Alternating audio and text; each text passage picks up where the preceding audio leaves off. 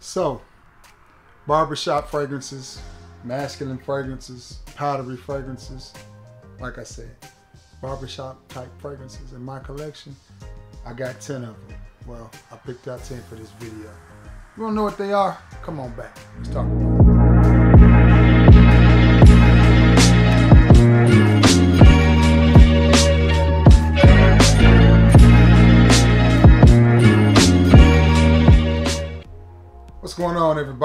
It is your boy TraScents. Happy Saturday. Hope everybody is doing well. Before I get into this video, listen, please consider giving your boy a sub. If you like this type of content, like it, give me a thumbs up, share, and of course, please be sure to sub. Now that we got the business end out of that, out of the way, let's have some fun. You ready? All right. I managed to find about 10 fragrances in my collection that are one, extremely masculine, powdery, barbershop, fougere, whatever the term you want to put on it, type of fragrances. Some of these y'all have heard of before, some of it you some of them you won't. Let's get right to it. The first one is from the house of Guerlain Habat Rouge. I think I'm saying that right. Habit Rouge, Habat Rouge. Oh, nice, masculine, powdery. smells just like the barbershop. I'm gonna give myself a spray of that. Or it smells just like a man would have smelled in the 50s and 60s. I'm not sure when this fragrance came out. Man, oh man, it smells good. I do know that Guerlain made this fragrance for one reason. Shalimar. They were having so much success with Shalimar and a lot of the men were wearing Shalimar, so they were like, hey, we need to make a fragrance for the man that's equally as good. Into this. That's just good. It's very masculine, very powdery. I mean, I can see this fragrance being worn 50 years ago, and I can see it being worn by some hipster 50 years from now. I like it. I just, I like it. It's a nice, spicy, powdery type of fragrance. Somewhat clean. Just barbershoppy, man. Just a fresh, and when I say fresh, I don't mean like shower fresh. I mean fresh in the sense of it's not floral or it's not woodsy. I'm sure there's probably some florals in listed in the notes, but to my nose, what I pick up on is that powdery, powdery goodness. So if you don't like powdery scents, you won't like this one. But if you like masculine powdery scents, Habit Rouge is the one for you. Next up on the list, another old school, another one, another one that's been out forever. And it is from Giorgio Beverly Hills. Can you guess what it is? Red. Another masculine type of scent. Give myself a hit. Great atomizer on that. Sprays a lot. Only thing I hate about this, this is the top is a little generic. Man, it smells good. The atomizer on this is great. You see that juice. Very simplistic bottle, nothing fancy, nothing over the top. I think I picked this up for 12 or $13 at TJ Maxx and it smells amazing. Very masculine, slightly barbershop, very leathery. I would reach for this one more on a cooler day, which I think it can be worn year round. I know that the Guerlain Habat Rouge can be worn year round. This is a year round scent. You can wear this on a cold day or a hot day. It doesn't, it's not gonna matter. Very nice fragrance, I like that. Now back to this one. I like this one too. Red, masculine, spicy, very simple, very easy to wear fragrance. It's nothing really, really complicated, but if you wore this, I would be willing to bet that somebody would think you had on something really expensive because this has a certain amount of depth to it. You know, my last review, I was smelling some fragrances and I said, it's just nothing there. It's nothing to them. They were just light, no body, no personality. I mean, I could smell the fragrance, but there was no body, no personality. Both of these that I just sprayed on, the red and the Guerlain, how about Rouge, great personality, strong, masculine, mass appealing, but at the same time different. This has a little bit of a leather note running through it. Nice. Again, that's one I can remember a lot of people wore back in the in the 80s and 90s and loved it. Speaking of barbershop, from the house of EJ Wells, barbershop. Man, oh man. And this, whew, man. As you can see, I put a dent in it, but it doesn't take a lot of this for fragrance. Two sprays and you're good. This one has a medicinal sort of vibe to it. It's not for everybody. Everybody will not like this fragrance. I like the fragrance. This is one that I would lean more towards the cooler weather to wear as opposed to the warmer months. Only knock on this one is just a little bit linear. It just, it, it doesn't move a whole lot when you spray it. I'm gonna give myself a spray. I'm gonna be smelling good, y'all. Um, small little spray, that's all I need. Just a little bit came out.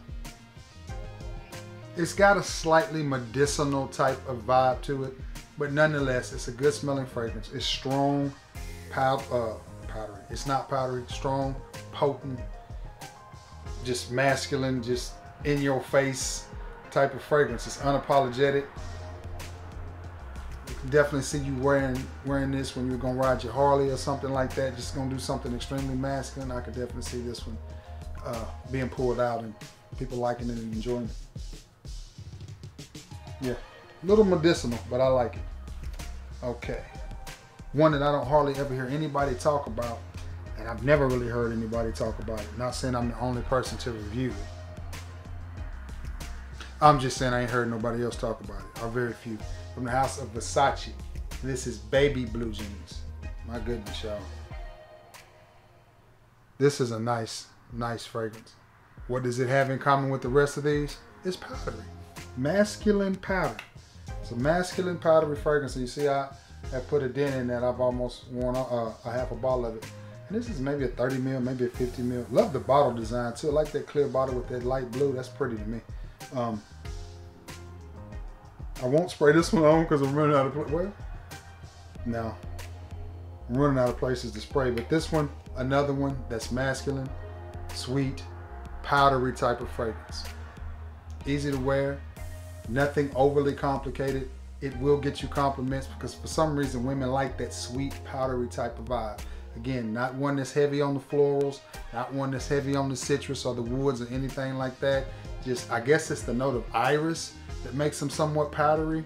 So yeah, but I don't do no breakdowns because everybody picks up on something different. So to me, it's just redundant. I apologize, but that's just not how, that's just not my style. But again, this gives me that clean cut, fresh out of the barber chair type of vibe that everybody likes. Nice v-neck t-shirt or a nice polo t-shirt or Nautica t-shirt, whatever your brand is, and some jeans and some Chuck Taylors or Jordans or whatever you wear, perfect with this. Just, I ain't trying too hard, just easy breezy, masculine. Another one that I think people should really have in their collection, and uh, some people know about it and some people don't. Perry Ellis 360 White. Yes, this is a Le Male clone. And yes, it's cheaper than Le Male. And yes, it's better. There has not been one time that I wore this fragrance and did not get a compliment. It is a conversation starter and a compliment getter. People love this fragrance. They really do. Perry Ellis 360 White, nothing else to say about it. Smooth, masculine, old school type of scent, but modern, powdery goodness. I'll tell you some more I could have put on this list too. I could have put Paul Sebastian Fine Cologne on here. I could have put George Zaharoff's Signature Noir, our Signature Pour Homme on here, but I decided, you know, since I talk about those fragrances so much, I wouldn't put them in this video. All right, I got about five more. Another one from the house of Giorgio Beverly Hills. And I just forgot the name of this fragrance. I think it's called just called Giorgio. Yeah, I think this is Giorgio Beverly Hills. Mm. And you see the juice levels on this. I've worn this. This is another one that I reach for when the weather is cooler. I think you could get away with it in the summer. You would just have to tone down your sprays a little bit. But I, I really enjoy this fragrance. I'm gonna put it in the air. Oh yeah. Now this is just a nice masculine scent. Now I'm told, of course, there's a reformulation that the juice used to be brown I don't know. All I've ever smelled was this was the green juice, and I really, really like it. This is a very strong, good performing type of fragrance. It's got that barbershop feel to it. It's not quite as powdery as the rest of them. So if you're wanting something that's barbershoppy, inexpensive and not powdery, but very well made, Giorgio Beverly Hills. This is a good one though. And I used to see this in abundance at Ross. And I'm telling you, every time I went, somebody had bought it. There's some people that's been wearing this since the 80s. Because I think Giorgio Beverly Hills is a high-end boutique out in uh, Beverly Hills, probably on Rodeo Drive or somewhere like that. Just because these, the same thing with, with Bijan. You know, I live in Alabama, so of course we don't have any Bijan boutiques or Giorgio uh, Beverly Hills boutiques here. But at one time, those places were, you know, like appointment only type places. They were hard to get in for high end fashion. And their fragrances at one time fetched a high dollar. Not saying that this one did, I'm just saying. But nonetheless, this is more of a fougere, and it's it's it's not quite as powdery as the rest of them, but still a very nice fragrance. I like it, especially for the price of 13 to 15 dollars. Performance is good, projection is good, longevity is good, sillage is good. It does what it's supposed to do.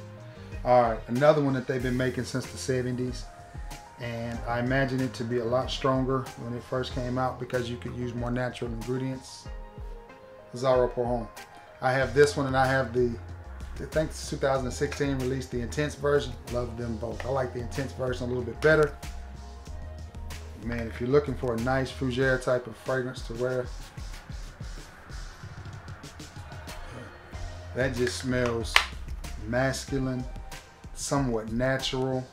This just makes me feel like you should have on one of those Biggie Smalls, you know, way back when I had the red and black lumberjack with the hat to match. Yeah, you know, this feels like you should be doing something outside when you wear this. It's just earthy, mossy, uh, just a, just a nice, well-rounded, masculine fragrance. And the thing I like about all of these fragrances is they all, to me, say the same thing. I smell good, but I'm not really trying too hard. You know, I still want, I still want to be masculine with it because I love, I love Fragcomm. I love everything about fragrances, and I don't meet many fragrances that I don't like. But sometimes I get a little frustrated because everything seems to wants to go sweet. And when I was TraScents in my 20s, I enjoyed that. I'm in my 40s now, mid 40s. I'll be 46 my next birthday. I got gray hair and a beard. I don't want to walk around smelling like cotton candy all the time.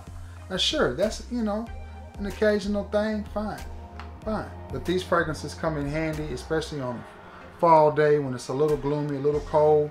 Say you got your little date situation going on, you know what I'm saying? You're going to get a little, little, little food, you know what I'm saying?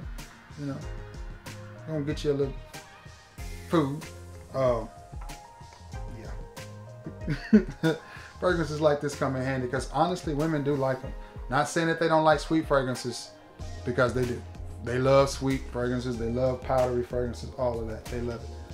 From the house of Cartier, Pasha. Beautiful scent as well. I have not had this one very long, but I thoroughly enjoy this scent. I'm gonna spray this one on. If I can find a place, I hit the old arm right there.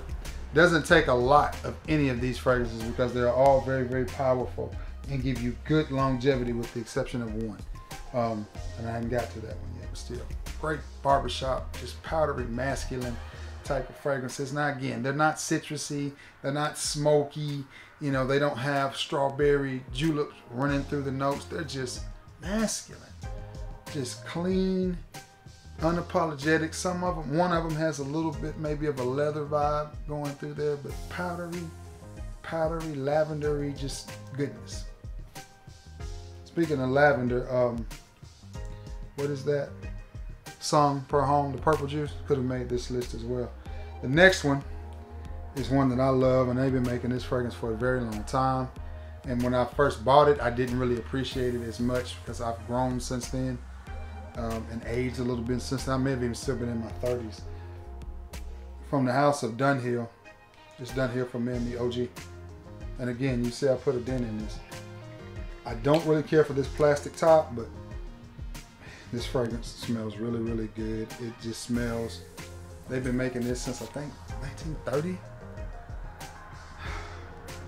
And it's a very, again, strong fragrance. You will not need a lot of sprays to wear this leather jacket, white t-shirt, a black t-shirt, and some jeans and some uh, loafers of some type maybe. I mean, just this is something that you wear again when you're not trying hard to smell good, but this this is just you. You know, this is the fragrance that you've been wearing for 20 years. Kind of like Old Spice. There are guys out there that have been wearing Old Spice for 50, 60 years. And there's a reason that they make Old Spice. And there's a reason they've been making it for 50, 60, 70 years. It's because it smells good and people like it. Old Spice is a great smelling fragrance. I'll never forget being in a Pizza Hut. Walked in. Now, mind you, I probably had on, because we was at, we just been to church, so I probably had on something I consider high end, maybe even been a niche product. We walk in Pizza Hut, and it's an old guy sitting there, blue jeans and a t-shirt with a white big old belt buckle, belly hanging out. Now, Pizza Hut, so you smell the pizza cooking. This particular Pizza Hut had a buffet. I don't know if all of them does. We did a buffet on Sunday.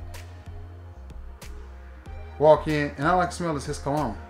And I'm like, man, so you know me, I'm a conversationist. So I ask him, excuse me, sir, what fragrance is that you wearing? I know I've smelled that before. He said, ha! Old Spice. Ha! Been wearing it for, and his wife grinning. They, I'm just in there thinking, well, it worked. He, his wife kept him. I got fired. So maybe I need to reevaluate some of this fragrance stuff. But nonetheless, it smelled good. It had the whole restaurant lit up. You talking about projection? He was by the door. That stuff was projecting way at the back of the restaurant. And every time you moved or went by him, you got a strong whiff of it. And that was Old Spice.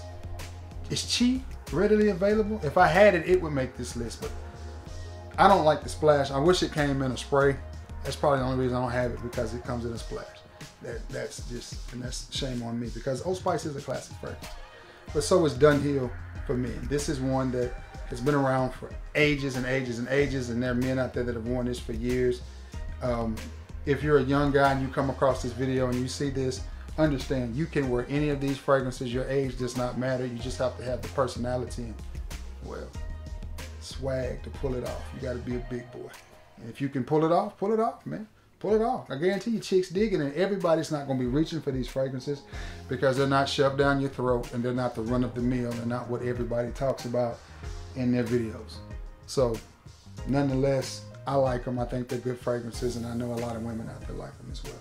Last one on my list, so I guess I had 10 if I didn't mention that. From the house of Ralph Lauren, Safari. This fragrance right here, great smelling, well known. This probably is the most popular one on this list, other than maybe the 360 White or the, well, the Cartier and the um, Azzaro.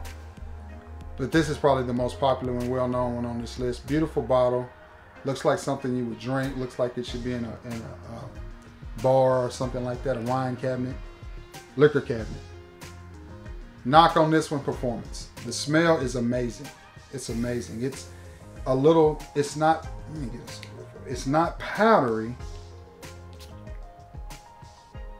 Yeah.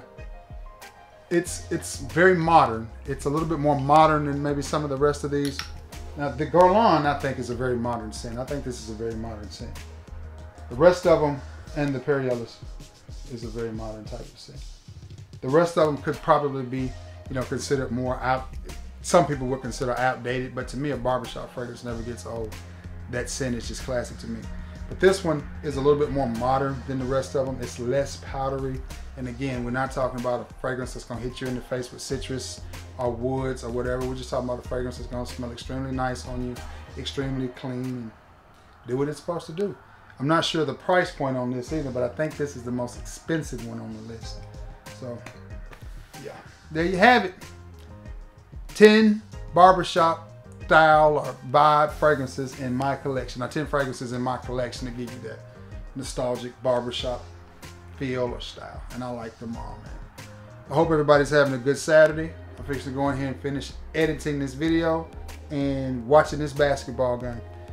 I think it's Villanova and Baylor. Villanova had just pulled ahead by five or six points when I came in here, but had to get, I had to put in work. I had to grind for y'all. Again, guys, the channel is growing. I appreciate it tremendously. You guys don't know how much that means to me. I'm to do my best to keep this content coming to you every day. The numbers are up. I appreciate all of you stopping by, viewing this video. For those of you who stop by and watch my videos and still ain't sub, come on, man. Give your boy a pound, baby. And give your boy a sub. For those of you who come back every single time I put up a video, I appreciate it. I really do. I really do. I love you guys. Have a great Saturday. And good Lord willing, we'll see you tomorrow. Peace.